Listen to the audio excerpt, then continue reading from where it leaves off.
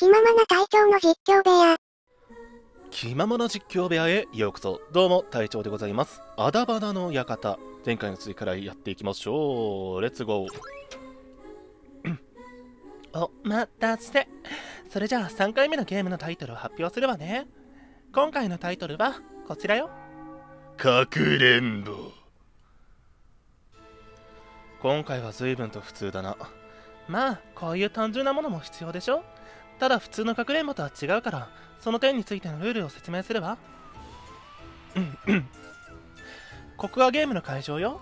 見てわかるかもしれないけれどここには8つのロッカーがロッカーがありその中に人が隠れ人が隠れられます。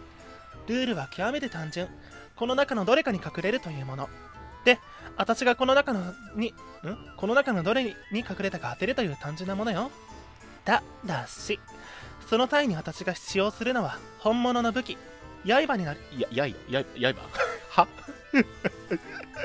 刃でいいのかな？中肉臭く言えば刃だけど。刃になります。それをロッカーに突き刺すから当たった瞬間その人は死んじゃいます。確かにそりゃ単純なゲームだな。でしょ？ちなみに私が歯をさせるチャンスは3回。3回外して当たらなかったらあなたたちの勝利よ。で？ルールはそれで全部か？いやこっちがねそれだけだと完全にうんじゃうんうんうんじゃから まだなんか質問できるとかあるでしょどうせ。ほら。うんもう一つ重要な重大なルールがあります。それが私がこのロッカーに対して事前にある仕掛けを施せるというものです。あ聞くんじゃなくて施すんだ。仕掛けっていうとどんな仕掛けなの？私が仕掛けを施したロッカーに人が入った場合その仕掛けが教えてくれるというものです。ものです。ものですって。ちなみにこんな感じに教えてくれます。分かってくれたかな？ちなみにこの仕掛けは2個設置できます。なるほど。その仕掛けを2箇所設置できてさらに3つのロ3つのロッカーに刃を刺すことができると。つまりお前には合計5回のチャンスがあるってことだなロッカーの数が8個であることを考えるとお前が俺たちを殺せる確率は5分の8じゃ8分の5少し俺たちに不利だな。だからそのための質問よ。私がどのロッカーに仕掛けを設置したかうまく質問すればそっちも生き残る確率は上がるはずでしょ。ま今回はシンプルな分運の要素も強いけれどそこも含めて楽しみましょう。以上で何か質問はあるかしら？特にないな。俺もナッシング。私もありません OK それじゃ対戦相手の発表にするかしら。さあ栄えある今回の対戦相手の名前は天井院そらくんやっはーとうとう俺来ちゃったか。えー、来ちゃったわよ。どうどう？緊張してる？それとも怖い？うーんどっちかっていうと緊張の方かな。さすがに命のやり取りするのするゲームなんて初めてだからさ。その割にはあなた最初と態度がずいぶん態度が変わらないのね。いやそうでもないですよ。こう見えて心臓バックンバックンですから。でもまあこういう機会ってめったにないから。俺は俺で有効に使わせてもらいますよ。そう。よくわからないけれど楽しんでもらえれば私も嬉しいわ。ところでさっきのゲームについてやっぱ一つ質問させてもらいたいんだけど俺たちのもので使えるものがあったら何か使ってもいいのかな？使えるもの？別にいいわよ。そんなものがあればだけど。うわーこっからちょっと難易度上がってくるっていうやつか。了解。じゃあまいろいろ試させてもらいますわ。じゃゲームを始めましょうか。うわーこっちがわからない何かを使ってくるな。仕掛けターン OK 好きなロッカーを2つ。OK 仕掛けね。とりあえずこことここかな理由はなんとなく。OK 隠れるターン。さてと。クルーハさん質問についてなんだけど。はーい。何かしらどんな質問してくれるのかしら？質問はなしってことで。え？あんたそれ本気で言ってんの？マジマジ。大真面目ですよ。だってこのゲームで質問してもあんまり俺にメリットなさそうだし。まその代わりというわけじゃないけど。ちょっといいかな悪魔さん隠れる前に使ってみたいものあるんだけど。はいどのようなものでしょうか？実はですね。なるほど構いませんよ。では存分にお使いください。さすが悪魔さん物分かりがいい。それじゃ隠れさせてもらいますね。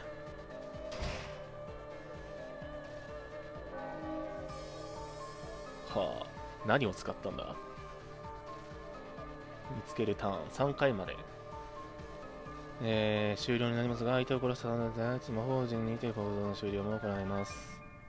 はああーなるほど。で設置したこことここではないと。うーんとりあえずこの辺かな。はい。誰もいないようだ。うーん。じゃあここからもこれ勘だよね完全に。あ来たー結局こいつが何を使ったのか分かんなかったけど。終わった。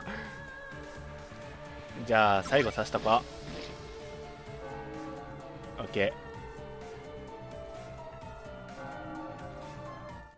はいはいはいはいちょっとカットごめんね。なんかよ。それでは結果発表です。ソラさんが隠れていたロッカーはこちらです。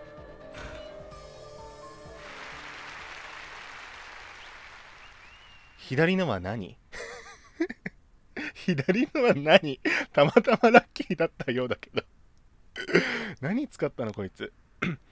結果は無事お嬢様はソラさんを殺害できました。おめでとうございます。ま私こういう運ゲーみたいなの得意だし当然よね。それにしても血が2箇所から出てなんか変だと2箇所も出てないよ。なんか変だと思っていたけれどまさかこういう仕掛けをしていたなんて。はい。ソラさんからの要望で前のゲームで死んだ人間の死んだ仲間の死体をフェイクとして使っていたのです。へえ。彼らはすでに死体ですので道具として使用する分には問題ないと判断させてもらいました。つまりしずくちゃんも殺してたらもう一箇所死体使われてたっていう話？あでもあれか。ん？でもシンジは？シンジ忘れられたシンジ忘れられたシンジなるほどね。こいつ思ったよりもえげつないこと平然とするのね。までもおかげで楽しめたわよ。そいつはどうも。あれあんた生きてたんだ。意外としぶといのね。びっくりしたわ。けどその様子じゃもってあと十数数十秒ってところかしら。どう？最後に何か言い残したいことはある？いや言い残したいこととかそういうのあんまないな。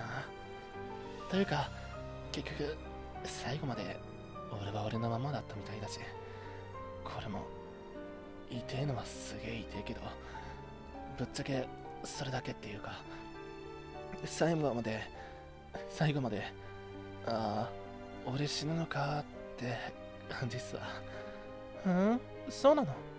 けどそれって私から言わせれば天性の才能っていうかできることなら私があんたみたいでになりたかったわ。へえそりゃどうも。けど俺やっぱ人間らしい感情感じたかったな。ああ結局最後まで俺には笑顔しかないか。いいんじゃないの？あなたの笑顔私は好きだったわよ。ってそらくん眠っちゃったのね。おやすみなさいそらくんあなたはある意味で私がなりたかった理想の存在だったわよ。いいやつなのか悪いやつなのかわかんねえよこいつ。というわけでこれで中盤戦も終えて残りは2ゲームね。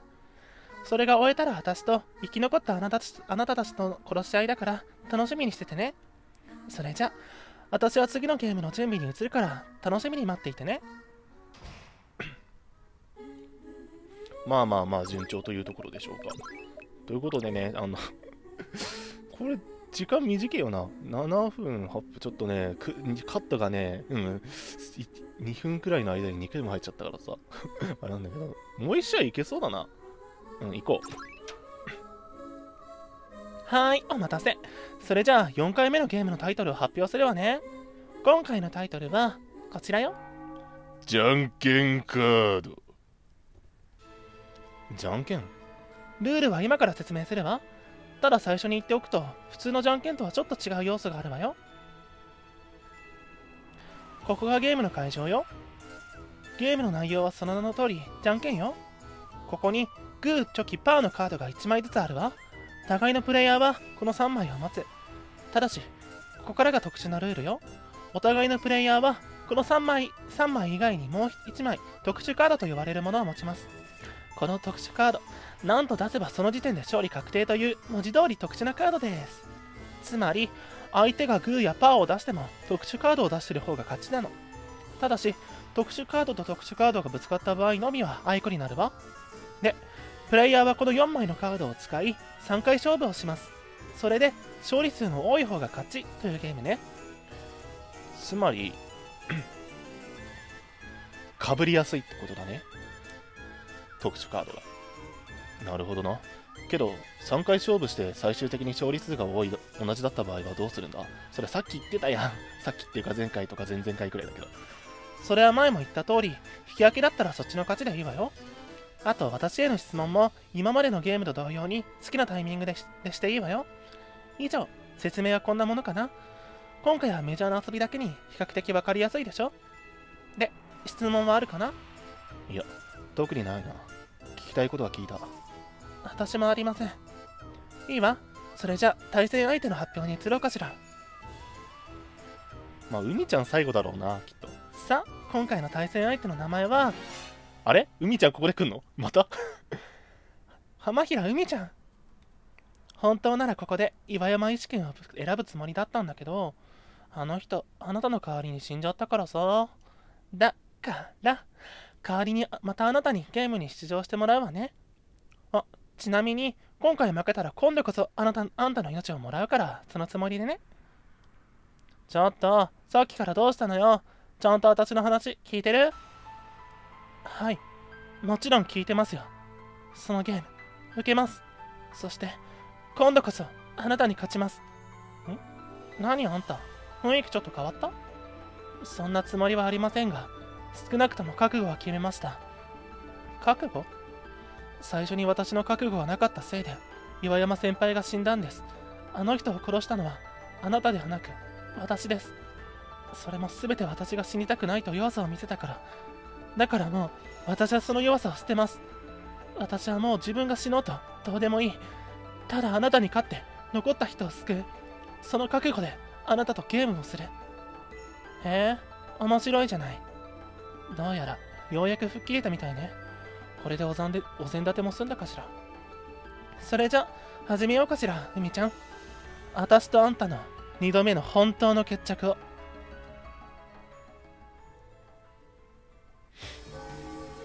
さて、始めましょうか。その前に、私、先に私が宣言します。最初の勝負で私はグーを出します。は？信じる信じないはご自由に。ただ私はすでにカードをセットしました。こいつ、どういうつもりよ。けど、もしこいつが本当にグーを出しているのなら、パーを出せば勝てるはず。どうする？えー、特殊カードかな こちらもカードを決めたわ。それじゃあオープンよ。ほら言わんこっちゃないね。こういうので打ち消していくんだよ。アイクのため勝者なし引き分け勝負となります。ここから運ね。オッケー。あんた、よくもまあその顔で平然と嘘をついたわね。何も嘘をつくのはそっちの特権ではないはずでしょ。確かにそうね。面白くなってきたわ。さあ、選びましょうか。さっきは私が先に選びました。ですので、次はそちらが先に選んでください。うん、いいわよ。さてと、こっからは完全に読んだ。まあ、えー、でもね、あ、でもカードか。普通に手でやるんだったら人間ってグーを出しやすいんだけど、緊張してる時って。カードだからね。まあ、チョキあたりいくか。こちらもカードを決めました。オープンお ちょっと待って 嘘だ 嘘だ嘘だそれじゃあいよいよラスト勝負といきましょうか。えー、そうですね。嘘だ決めましたうーん。でもここまで来たらもう愛子が勝ちしかないわけよ。でもこっち向こうは愛子でも勝ちでも勝てるんだけどこっちは勝たないといけないわけよ。そこだよね。まあこれ完全に読んだからどう考えここでどう何分何時間何百年とか悩んだところで意味ないんだけど。パーかな？質問つかは？あなたが出したカードはグーですか？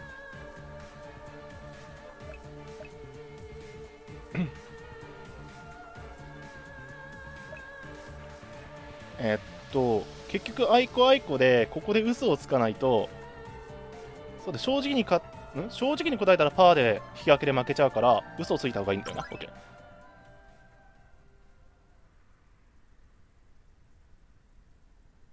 いつついた？残念ながらお嬢様は2回の嘘をついてしまいました。え？あそうなの？はいですので僕のおお嬢様の命をと。要するにお嬢様のゲームオーバー。そっかけども残念だけど負けるえ？え？え？え？え？俺いつ嘘ついた？これからあなたたちと行う5回のゲームの中で私は一度だけ嘘をつくことができます。こいつ500万一気に取ってこ取ってきそうだな。嘘ついとくか警報はつけてあるわよ。わわかりました。ええ俺いつ嘘ついた？ちょっと待って。え？え？俺嘘ついてた？えいつ？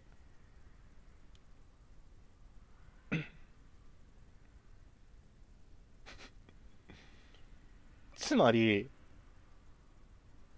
あそこではもう負け確定だったんだあの時点で。なるほどね。ちょっと動画見返さないとわかんねえわ。はいということでちょっとねあのー負けちゃったわけなんですけれども。うん。負けちゃったっていうかうん自滅だね。うん。しちゃったわけなんですけれども、まあ、次回はねちょっとそれを気をつけてまあ、勝ちでも負けでもどっちでもいいけど、まあね、あの、次に進みたいと思います。それ以前の問題だからね、自爆は本当。自爆っていうか自滅か。自滅はそれ以前だから気をつけてやっていきたいと思います。ということで、ね、えー今回はこの辺で終わりし、ね、終わりにしたいと思います。え何かあればコメントでね、えしていただければ嬉しいです。